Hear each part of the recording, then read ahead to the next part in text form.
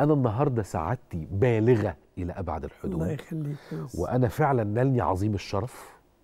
و و وأنا هعمل زي الأجيال اللي كانت أكبر مني. هفضل متعلق بالجيل الأكبر آه، أطلب صداقته وأطلب إن أنا أتعلم على ايديه فاسمح لي دايما يا أستاذ فاروق إن أنا من وقت للتاني أبقى أزعج حضرتك بمقابلة وآجي كده أقعد مجرد ألتمس السمع ليس إلا. لا أنا سعدت بيك وسعدت أنا بقالي عشر سنين ما طلعتش عندكم على فكرة هنا. الله. ده أنا على كده حظي حلو بزيادة ده بقى. عشر سنين. ده أنا كده حظي حلو بزيادة. بقول لك هم عشر سنين بالظبط.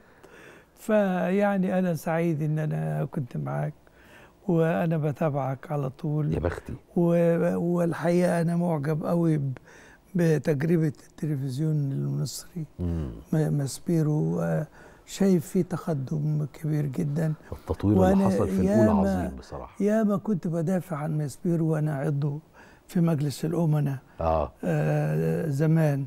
آه، لأن أنا شايف إن ده تلفزيون مصر اللي يجب إن إحنا ندعمه ونحرص عليه ونديله كل فرص الانطلاق والنجاح.